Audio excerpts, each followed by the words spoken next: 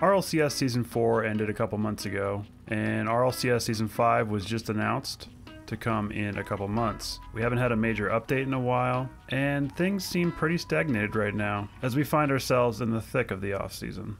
As a content creator, I want to use this time to provide original content with valuable insights, tips, guides, and recaps to help the community grow. But as a mediocre YouTuber with too much free time, I'd rather give you a comprehensive analysis on Rocket League Pro walkouts. Approaching the stage. Ladies and gentlemen, make some noise for Denial! Since season 1 of RLCS, walkouts were designed to be a hype pre-match moment where players can show their true colors, where they can be scrutinized by both fans and commentators. Walkouts are a chance to get to know the players and to see their personalities for a few brief moments. Walkouts sometimes even feature a popular player's face reveal. For many of them, it may be the first time they've ever been outside. I'm sure a lot of us can relate. But sometimes this moment is not exactly a top priority for our favorite Rocketeers. Today, we take a closer look at the best and worst of RLCS walkouts.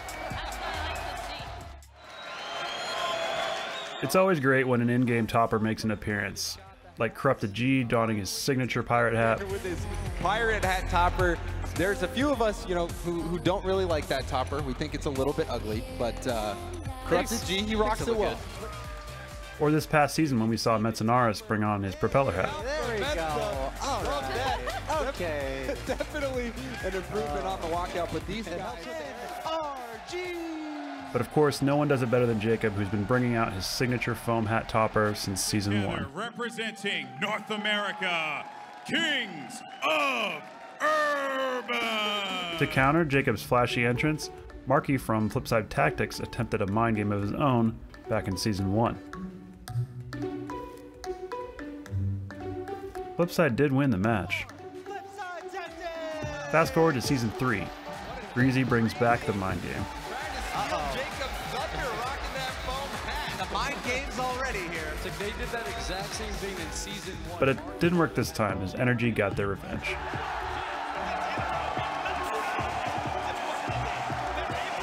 Season 4 saw Jacob step up his walkout game even more.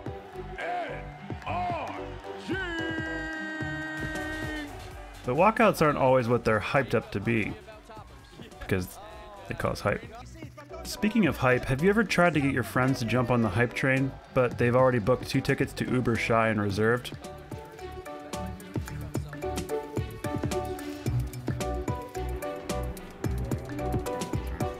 They ask you how you are, you just have to say that you're fine when you're not really fine, but you just can't get into it because And you don't know true fear until you look into Espion's eyes when his teammates weren't walking to their seats in season 2.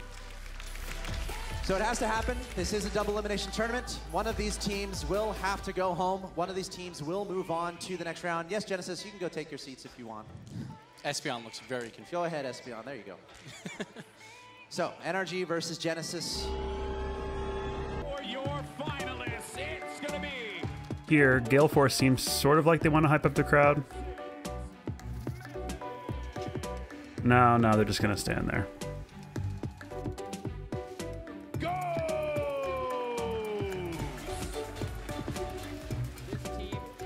Ah, yes, Ghost. Nothing gets me hyped like three or four shoulder shrugs. Oh yeah, that really gets me going. Guess it, I guess it didn't really work for Gibbs though. We're still seeing these terrible intros, man. We need some props. Yeah, that's But the next day they did end up stepping it up though. Everybody loves t-shirts. Who doesn't love t-shirts? And look at that toss. That was There we go, Klassux. That was a good arm. That was much better than Jay throwing like you guys. Yeah. hey man, I was Next we have probably one of the best moments in all of our Gentlemen,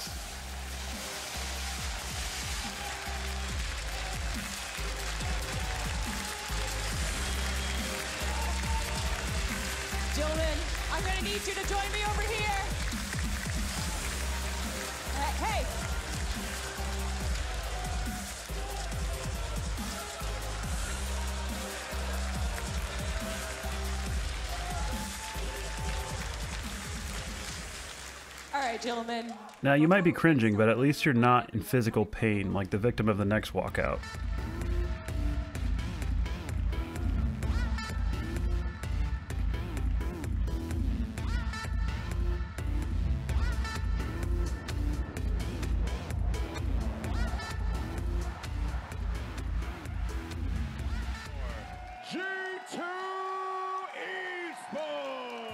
As we see here, JKnapp struggled a little bit to find his spot on the stage, but then Rizzo comes and takes over with this this very erotic dance and kind of kind of salvages it there. Every time JKnaps comes out, though, he gets lost. You're supposed to walk to the end Like, of the stage, where's my JKnaps. computer? I think There was nothing personal- about Rizzo that felt lost there.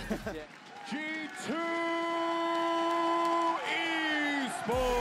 Esports. The fan favorite. J-Dab. You can see him amping up the crowd. But JKnaps is pretty eager to recover here, and he goes and hypes up the crowd by essentially tapping on this inflatable boomstick here. Yeah, he really taps that baton, and the crowd does go nuts.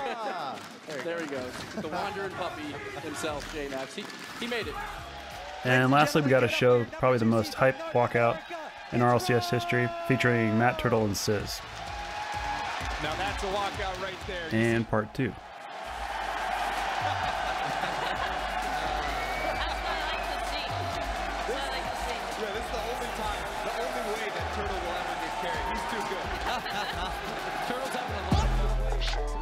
So as you can see, we have a lot of room to improve.